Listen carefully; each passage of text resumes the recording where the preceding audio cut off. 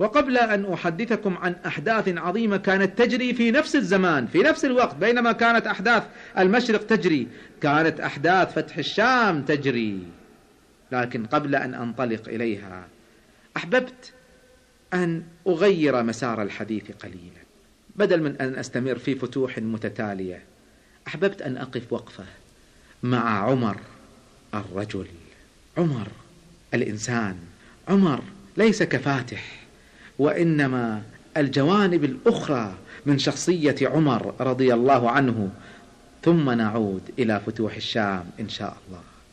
هو سيدنا عمر بن الخطاب ابن نفيل ابن عبد العزى ابن رياح ابن عبد الله ابن قرط ابن رزاح ابن عدي ابن كعب ابن لؤي ابن غالب ابن فهر. وفهر هو قريش. فهو قرشي. يجتمع مع النبي صلى الله عليه وسلم في كعب. وبين النبي صلى الله عليه وسلم وكعب سبعة آباء وبين عمر وكعب ثمانية آباء. وأم عمر بن الخطاب هي حنتمة بنت هاشم ابن المغيرة ابن عبد الله ابن عمر ابن مخزوم. فهي كذلك من بني مخزوم وينتسب إلى عدي ويسمى العدوي ويلقب بأبي حفص الحفص الشبل. ولد الأسد وكناه به النبي صلى الله عليه وسلم يوم بدر. وكانت حفصة أم المؤمنين رضي الله عنها أكبر أولاده. فيقال أبو حفص نسبة إلى حفصة ويقال أبو حفص نسبة إلى الشبل ابن الأسد كما سماه النبي صلى الله عليه وسلم في يوم بدر كما ورد في سيرة ابن هشام. وسمي بالفاروق لأنه أعلن الإسلام.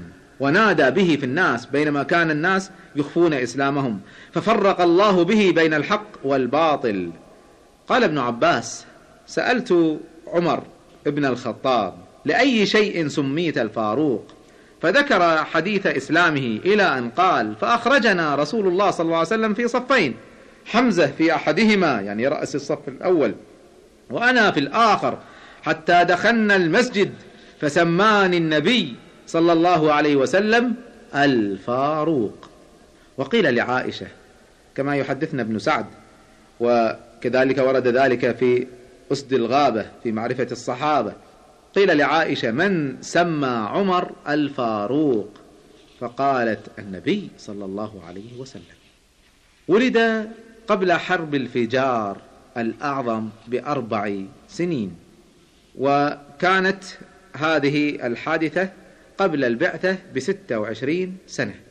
فكان إذن عمره لما ولد عمر عمر النبي صلى الله عليه وسلم أربعة عشر سنة. فكان مولده قبل البعثة بثلاثين سنة. فهو أصغر من النبي صلى الله عليه وسلم بأربعة عشر سنة. وإليكم وصف دقيق له. كنت وصفت لكم عمر في السابق لكن دعوني أصف لكم مزيد من صفاته. كان رضي الله عنه رجلا. مشربا بحمرة يعني أبيض فيه شوية حمار. حسن الخدين والأنف والعينين غليظ القدمين والكفين مجدول اللحم. وكان جلدا شديد الخلق قوي ضخم الجثة. كان كما ذكرت لكم إذا مشى بين الناس كأنه راكب على بغل أو نحو ذلك. وما يكون مع قوم قط إلا رؤية كأنه فوقهم يعني هو أطول واحد فيهم. وكان قويا. شديدا لا واهنا ولا ضعيفا. إذا مشى أسرع ووطئ الأرض وطئا شديدا كان إذا تحرك طاق طاق يدوس الأرض دوس. هكذا كان شأنه. تروي الشفاء ابنة عبد الله أنها رأت فتيانا يمشون بطيئين يتكلمون كلام خافت يأكلون القليل من الطعام. قالت ما هؤلاء؟ منظر عجيب في الإسلام ما نعرفه إحنا. ما هؤلاء؟ قالوا نساك. يعني ناس متخشعين متعبدين. بعض الناس يتصور العبادة هكذا. فقالت كان والله عمر إذا تكلم أسمع وإذا مشى أسرع وإذا ضرب أوجع وإذا أطعم أشبع وهو الناسك حقا. النسك ما هو بأن الإنسان يتكلم كلام واطي. التقوى ليست بالدين اللي الإنسان يفعلونه بعض الناس اليوم. كأنه دين ضعيف لا ديننا قوي. ما يحتاج الإنسان يتكلم ببطء ويتكلم بصوت واطي ويمشي شوية كأنه ذليل كلا كان عمر يعلم الناس العزة وهو أنسك الناس. وكنت قد حدثتكم عن بعض صفاته وبينت لكم خشونة طعامه. كيف كان يستعمل الخشن من الطعام؟ والروايات في ذلك كثيرة. لكن رواية من الروايات تبين لنا لماذا كان يأكل الخشن من الطعام. كان حفص ابن أبي العاصي في مجلس عمر لما جاءه طعامه فطلب من الناس أن يأكلوا معه فحفص ما أكل فقال له عمر ما يمنعك من طعامنا؟ ليش ما تأكل معنا؟ كان يأكل خبز ما هو مطحون دقيق ما هو مطحون خشن ومع زيت هذا طعامه أو خبز مع حليب. يقول حفص ابن أبي العاصي يقول لعمر إن طعامك جشب غليظ وإني راجع إلى طعام لين قد صنع لي فأصيب منه. في طعام مجهز لي مزين مسنع مضبط لين. راجع له أنا. عمر أراد أن يعلمه درسا. فقال أتراني أعجز أن آمر بصغار المعزة. آخذ معزة صغيرة. شوف اختياراته. فيلقى عنها شعرها. تسلخ. وآمر بلباب البر. ما هو قمح؟ وإنما خلاصة القمح. ثم آمر به فيخبز خبزا رقاقا. إذا سأصنع لحم من أطيب اللحم صغار المعز. وخبز من أطيب الخبز لباب البر. وآمر بصعاع من زبيب. الزبيب اللي هو العنب المجفف. فيقذف في إناء حتى إذا صار مثل عين الحجل. صب عليه الماء. يعني زبيب يذاب ثم يصب عليه الماء حتى يصبح كأنه دم غزال. فآكل هذا وأشرب هذا. آكل لحم من أطيب اللحم وخبز من أطيب الخبز وأشرب شراب من أطيب الشراب. طبعا هذا في حياة الصحراء يعتبر من ألذ الأطعمة. فحافظ تعجب. قال إني لأراك عالما بطيب العيش. يعني عارف أشوفك عندك معرفة بالطعام اللذيذ. قال والذي نفسي بيده لولا أن تنتقص حسناتي لشاركتكم في لين عيشكم. خايف على حسناتي تروح. شوف السبب الآن يبين ليش طعامه خشن.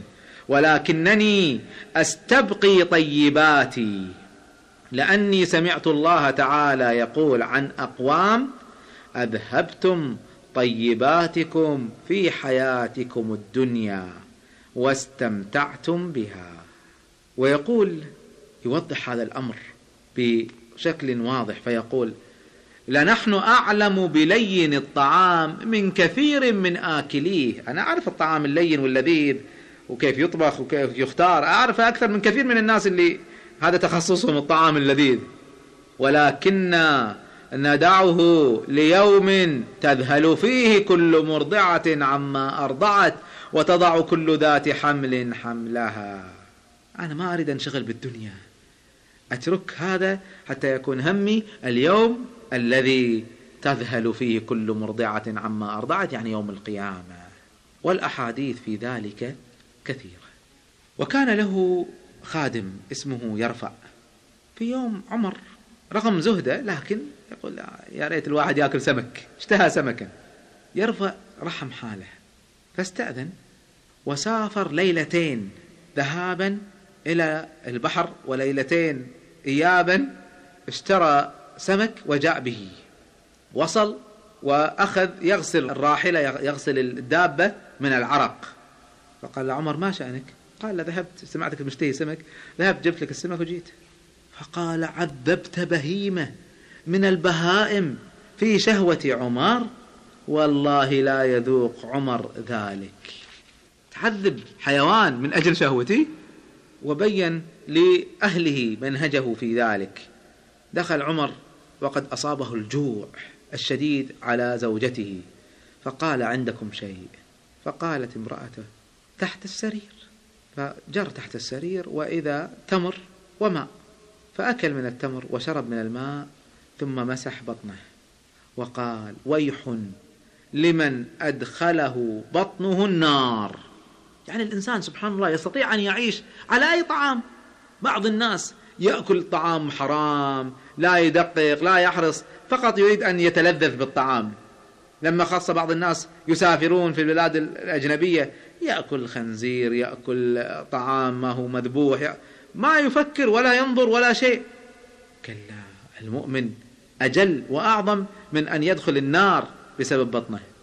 طبعا طعام أهل الكتاب حل لنا لكن الطعام الحرام بعض الناس لا يدقق فيه وهذا لا ينبغي لمسلم.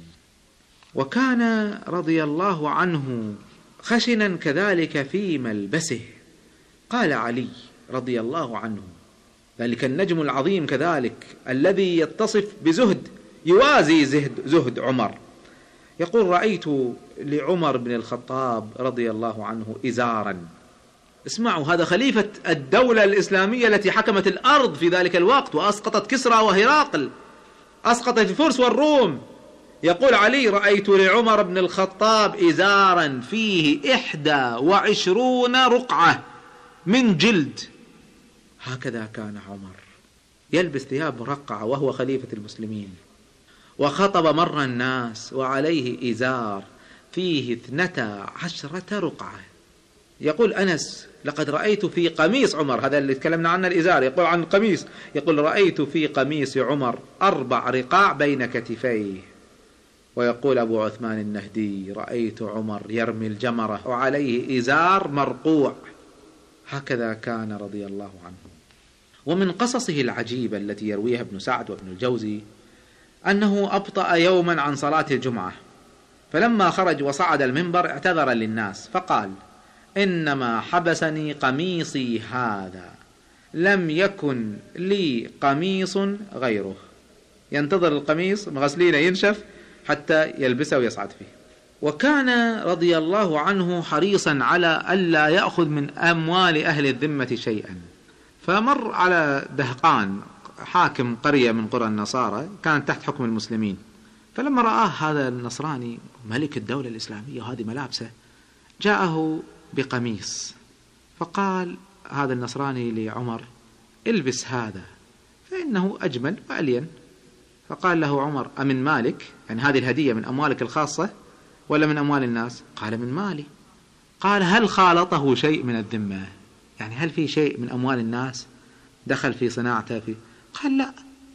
كله من أموالي. إلا الخياطة. أعطيته خياط عندي من من الذين أحكمهم. قلت له خيطها لي. قال أعزب ائتوني بقميصي. كان يغسلون قميصه. فجيء به وهو أخضر من الصابون الذي فيه.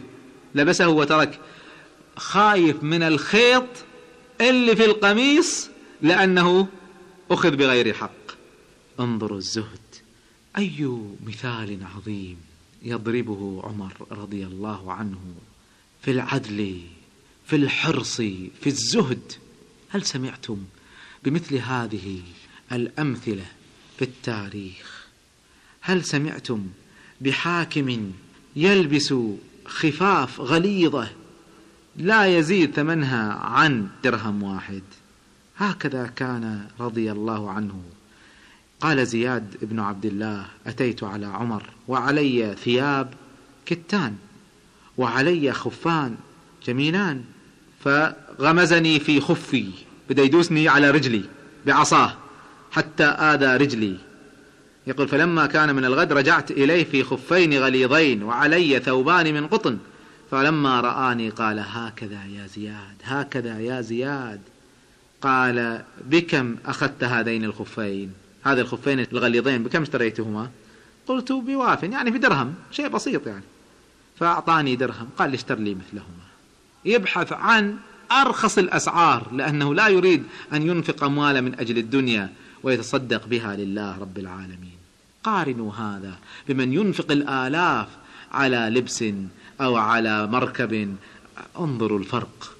جعلنا الله وإياكم ممن يقتدي بعمر. الزاهد عمر القائد عمر الإنسان. خرج يوما في يوم حار واضعا رداءه على رأسه مغطي رأسه بجزء من ثوبه من شدة الحر. فمر به غلام على حماره فقال يا غلام احملني معك حر شديد وهو ما معه دابة وهو الخليفة. فالغلام لما سمع الخليفة يطلب منه يركبه وياه نزل عن الحمار وقال اركب يا أمير المؤمنين. قال لا اركب أنت. فقال اركب يا أمير المؤمنين أنا أركب خلفك. قال لا اركب وأركب أنا خلفك. تريد أن تحملني على المكان الوطيء؟